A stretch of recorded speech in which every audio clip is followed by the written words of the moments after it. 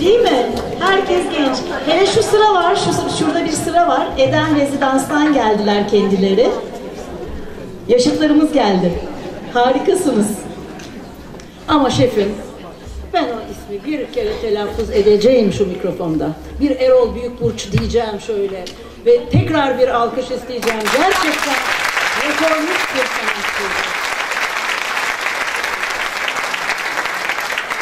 Ve ve ve yıllar geçti, geçti, geçti.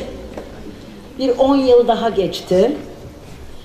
Aranjmanlar başladı hayatımızda.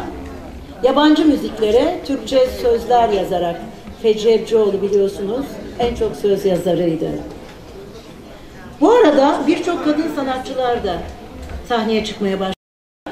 Yeşilçam filmlerinde rol almaya başladılar. Giyim tarzları, Avrupa'yı görünüşleri, bu kez paparazzi içerikli mecmualar çıkmaya başladı. Ses dergileri, hayat dergileri gibi. Ve bu dönemde iki kız kardeş. Dünya durdukça durası aslında ikisi de.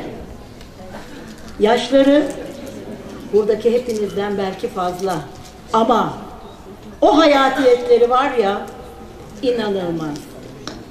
Ajda ve Semiramis Pekkan kardeşler. Ve şimdi hangi şarkı olduğunu size bırakayım. Ben biliyorum.